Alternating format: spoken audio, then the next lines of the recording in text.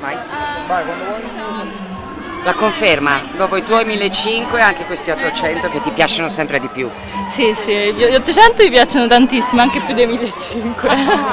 eh, no, molto bene. Eh, no, comunque me lo aspettavo di andare bene, di fare un tempo comunque vicino al mio personale, quindi 8 e 20 in questo momento va benissimo. E poi soprattutto contro la Capas, sia ieri sia oggi è comunque una rivale accreditata perché ovviamente si pensa a Glasgow. Sì, è una rivale valida e anche se l'ho battuta in questi giorni però so che è comunque molto forte e ha dei personali più bassi dei miei, quindi comunque a Glasgow sarà una delle avversari principali.